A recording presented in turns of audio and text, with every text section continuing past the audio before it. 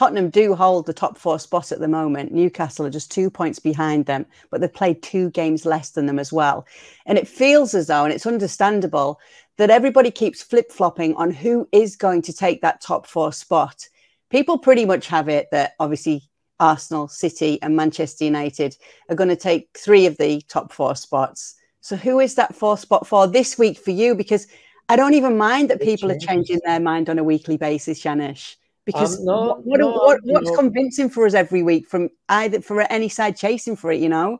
I'm I'm with Newcastle. Everything that we just said about Spurs, lack of stability, a manager that's not happy, and and you know airing the you know the dirty laundry uh, in front of us. Uh, Newcastle had a soft spell for a while now, but was it Friday? I've been traveling, so sorry, I can't remember when the game was. Uh, big comeback for Newcastle as well. Uh, very good defensively, still. Friday. The best, the, best defense in, in, the league, and that to me, as a former defender, is very, very important.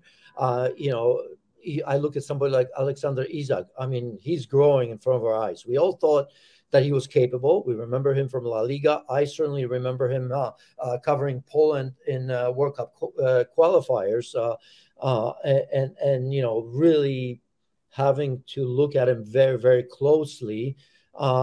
but he's at his best right now. I mean, obviously, injury-ridden season for him, but at his best. I mean, my goodness, did he look the part the other day? So.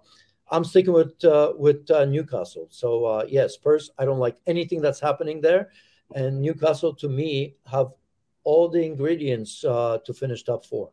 And you're counting out the likes of Liverpool and Brighton then? Yeah, I mean, Brighton, that story's got to, I mean, if it happens, great. Because as I mentioned, uh, romantically speaking, that, that would have been a, nice story. Liverpool, yeah, too much up and down, still not not enough. I think they they kissed the season uh, away after that uh, Manchester United game. I don't want to mention that game against who was it against uh, Bournemouth uh, or some, something like that. okay, so let's just summarize what we've seen today. You can't say that Arsenal are going to win the title, but you can say that you want them to. I do. Until, right, so ne- until next week, Kay. Uh, look at you, Janusz do you mind changes like the wind? But at the moment, you want them to. But you want them to because of what we've been seeing with the way they're playing and everything, right?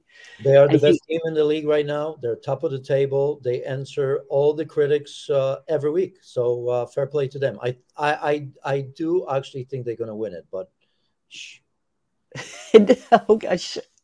And just to put a point on it, then I mean, there's still time. You don't think Antonio Conte should continue at Spurs, even though they're in the top four spot and the season is on its way out? Do I have to conf- confirm this again? Yes, yes. yes. I, have soured on Antonio Conte, and that, for me, that's a big statement. No, there you go. Someone's coming looking for you for all your takes today, Janusz. I can hear that siren in the background. Uh, but thanks so much for being with us. We know you're traveling. Always great to be with you on PL Express. We'll see you guys very soon. Thank you very much for watching ESPN FC on YouTube. For more highlights, analysis, and exclusive content, be sure to subscribe.